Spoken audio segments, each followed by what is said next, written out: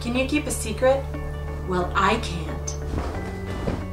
I used to have bad symptom, symptom, and even symptom when I least expected it. But now, thanks to product and our service and its extremely complex formula and miraculous result, my man thinks I'm adverb and or adjective.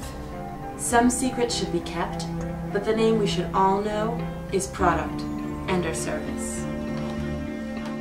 Product and or service is not for everyone. Product and or service may cause symptom and or condition, and in some rare cases has been known to cause illness and or disease. Consult your doctor before using product and or service.